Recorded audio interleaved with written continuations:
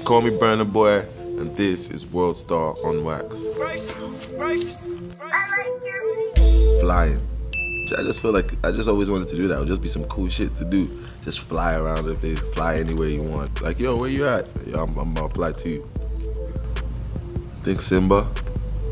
No, actually Mufasa. Cause he's the real Lion King, man. You get me? And I'm the real Lion King. Jollof. No debate. First major purchase made when I was 17, a Range Rover. And I had it for three days. And then the police took it. Cause I was I was a wild kid. oh boy. That's the toughest question.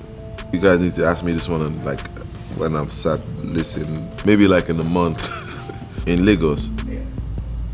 Got island, but like I got love for the mainland. It's like it's just I just live on the island, so I say island. Well, I don't know because I'm not good. Anybody can pop up anytime, but if you're asking me who I like right now, Zlatan, Naira Marley, Rema, Ghana. Because that's my own favorite vacation location. None of the above. Manchester United. See, that's the thing. I've never thought any of my songs would be a hit. I don't know how to, I don't know to explain it, man. It's just always, I just challenge myself. And uh, for me, that's that's just how I, it's almost like air. You breathe and you release, you breathe and you release, you know. Lagos, of course. Because I'm not a politician. Of course, Fela. That's, that's not a question. that's my hero, man.